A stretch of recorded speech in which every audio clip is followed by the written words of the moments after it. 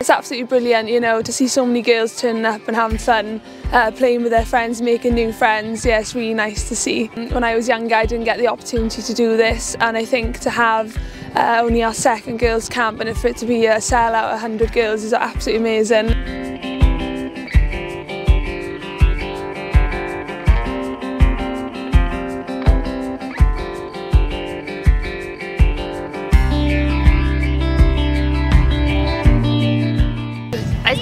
Amazing to see. I mean, when I was a little girl, this is certainly something we didn't have, and to say that you've got a hundred girls here wanting to play football, you know, on their half term is absolutely fantastic, and it just shows where women's football's going in Wales.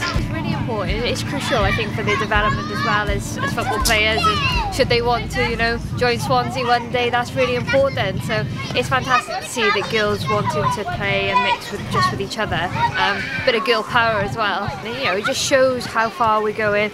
You know, how far we've got to go as well. Um, but you know, Rome wasn't built in a day, so it's really pleasing to see, and hopefully it's just up and up and up from here.